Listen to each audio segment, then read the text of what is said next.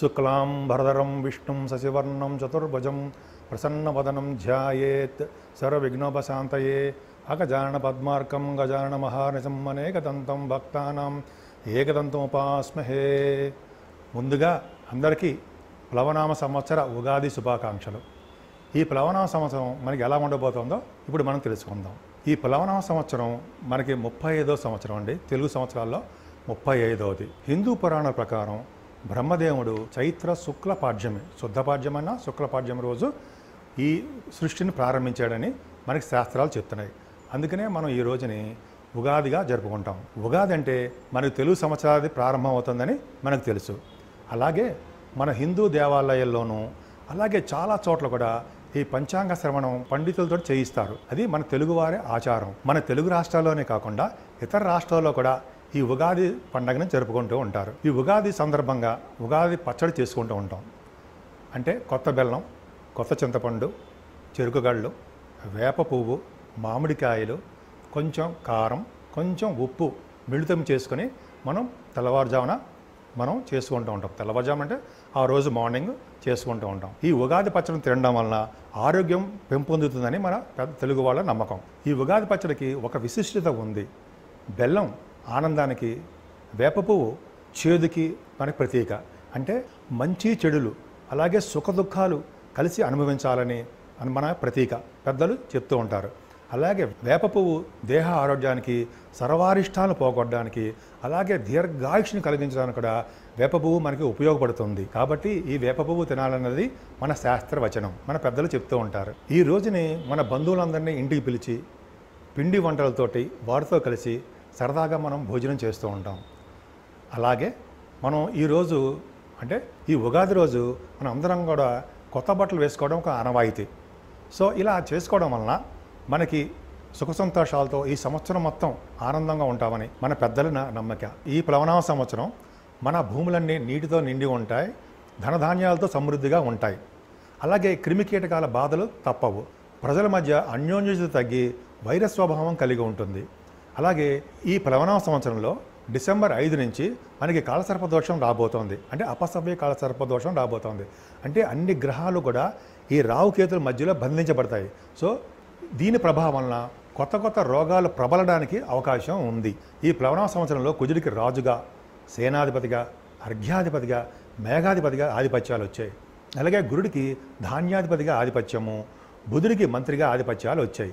అంతేకాకుండా ఈ సంవత్సరం కుజుడికి రాజుగాను సేనాధిపతిగాను అర్ఘ్యాధిపతిగాను అంతేకాకుండా పదమూడు ఆధిపత్యాలు రావడం వలన మన దేశంలో రక్షణ వ్యవస్థ ఆర్థిక వ్యవస్థ కూడా చాలా గట్టిపడిపోతోంది. ఎందుకంటే కుజుడు సేనాధిపతి కాబట్టి మన ఆర్థిక వ్యవస్థ రక్షణ వ్యవస్థ కూడా చాలా బలంగా కఠినంగా అద్భుతంగా రాణించబోతోంది. దీనివల్ల మన ప్రభుత్వాలు చాలా కఠినమైన నిర్ణయాలు తీసుకుంటాయి. అంటే ఎట్లా మన ఇండియా ఉండాలి? దానికి ఆర్థిక పరిస్థితి ఎలా ఉంటుంది కఠినంగా ఎలా వ్యవహరించాలి అనేది ప్రభుత్వం చాలా బ్రహ్మాండ నిర్ణయాలు తీసుకుంటుంది. అలాగే పోలీసు రంగంలో ఉన్న వాళ్ళు కూడా ఉన్నత పదవులు రావడానికి అద్భుతంగా వాళ్ళు రాణించడానికి కూడా పోలీస్ వ్యవస్థ గట్టిపడుతుంది. మన రాజకీయ నాయకులకు కూడా మంచి మంచి పదవులు రావడానికి వాళ్ళు పేరు ప్రఖ్యాతులు అభివృద్ధిలో రావడానికి ఈ సంవత్సరంలో అవకాశం ఉంది. మేఘాధిపత్యం కూడా కుజుడికి రావడం వలన వర్షాలు సకాలంలో అన్ని చోట్ల పడతాయి. కానీ కొన్ని కొన్ని చోట్ల వర్షాలు పడడానికి అవకాశం తక్కువగా ఉంటుంది. మరియు గురు ప్రభావం వలన మనకి పంటలు బాగా పండుతాయి. వర్షాలు బాగా కురుస్తాయి. రైతులు ఆనందదాయకంగా ఉంటారు. పశు వృద్ధి చాలా బాగుంటుంది. అలాగే గోవులు సమృద్ధిగా పాలు ఇస్తాయి ఈ సంవత్సరం మొత్తం కూడా. ఈ సంవత్సరంలో బంగారం వెండి ముత్యాలు వస్త్రాలు అలాగే వాహనాల ధరలు కూడా అధికం అవుతాయి ఈ ప్లవనామ సంవత్సరంలో శుక్రుడు రాహువు బుధుడు కలయిక వలన ఈ సంవత్సరం మొత్తంలో కూడా టీవీ రంగంలో ఉన్న వాళ్ళకి అలాగే సినిమా రంగంలో ఉన్న కళాకారులకి అద్భుతమైన యోగం కలగబోతోంది. వాళ్ళ వ్యాపారాలు కూడా చాలా అభివృద్ధి పదంలో ఉంటాయి. ఫస్ట్లో చాలా కొన్ని ఆటంకాలు ఎదురవుతాయి కానీ వాటిని మీరు అధిగమించి ఈ సంవత్సరం మొత్తంలో లాభాలు గడించగలరు. అలాగే సంగీతంలో ఉన్న వాళ్ళకి సంగీత కళాకారులకి నృత్య కళాకారులకి అలాగే సాహిత్య కళాకారులకి అందరికీ కూడా అద్భుతంగా రాణించబోతోంది. నూతన అవకాశాలు మిమ్మల్ని వెతుక్కుంటూ రాబోతున్నాయి. మరియు గాయని గాయకులు కూడా రండి.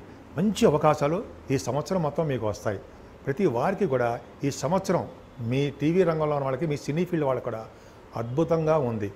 ముందర కొంచెం కొంచెం ఇబ్బందులు ఫేస్ చేస్తారు. కానీ వాటిని మీరు అధిగమించి ఉన్నతిని మీరు చూస్తారు. ఇప్పుడు రియల్ ఎస్టేట్ రంగంలో వాళ్ళకండి. కోల్ రంగంలో వాళ్ళకి ఐరన్ స్టీల్ ఆయిల్ రంగంలో ఉన్న వాళ్ళకి సిమెంట్ రంగంలో ఉన్న వాళ్ళకి అలాగ రకరకాల వ్యాపారస్తుల వ్యాపారస్తులందరికీ కూడా మంచి అభివృద్ధి కలగబోతోంది. తర్వాత కంప్యూటర్ రంగంలో ఉన్న వాళ్ళు కూడా సాఫ్ట్వేర్ రంగంలో ఉన్న వాళ్ళు కూడా వాళ్ళ వ్యాపారాలండి అభివృద్ధి చెందుతాయి. కానీ మధ్య మధ్యలో మీకు అవాంతరాలు ఎదురవుతాయి. వాటి అన్నిటినీ మీరు అధిగమించడానికి అవకాశాలు ఎక్కువగా ఉన్నాయి. అలాగే ఈ ప్లవన సంవత్సరంలో మీ క్రీడా రంగంలో వాళ్ళకు కూడా అండి చాలా మంచి మంచి అవకాశాలు వచ్చి తీరుతాయి. ముఖ్యంగా నిరుద్యోగులకి ఉద్యోగ అవకాశాలు వస్తాయి. కానీ మీరు కష్టపడి చదివితే మీరు ఉత్తీర్ణులు కాగలరు. అలాగే కొంత కొంత ప్రాబ్లమ్స్ని ఫేస్ చేయడానికి అవకాశం ఉంది.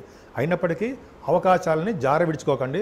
నూతన ఉద్యోగ అవకాశాలు రావడానికి చాలా అవకాశాలు ఉన్నాయి. అంటే నూతన ఉద్యోగ అవకాశాలు మీకు వచ్చి తీరతాయి. ముఖ్యంగా ఈ రాశి స్త్రీలకండి. చాలా అద్భుతంగా ఉంది. ప్రతి పనిలోనూ సక్సెస్ చేసి తీరతారు. మీకు మంచి మంచి పదవులు వచ్చి తీరతాయి. అన్ని రంగాల్లోనూ మీరు రాణించి తీరతారు. అద్భుతమైన యోగవంతమైన కాలం.